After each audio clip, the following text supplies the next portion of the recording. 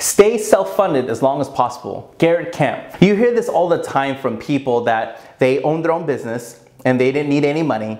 And then the minute they need to get money from other people, whether they go public on stock or whether they take a loan out from someone else, all of a sudden the business cannot be them 100%. Because now they have to ask other people, hey, is this okay? Because it's your money and you need to be okay with it also.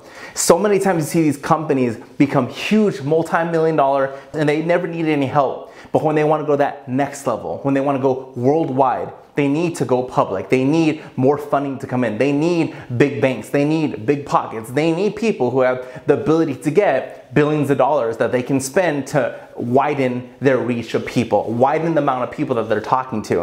And then once that happens though, you hear so many times in the news, you hear so many times in these interviews, how they say the fun stopped once that happened because then we had to make sure we were making other people happy. We had to make sure that other people were okay with it. So remember, if right now you're in a position where you're self-funded and you don't need to talk to other people, be in that moment as long as humanly possible and then when you need to go to the next level, you gotta go to the next level, of course, and there's nothing wrong with that. But stay self-funded as long as possible.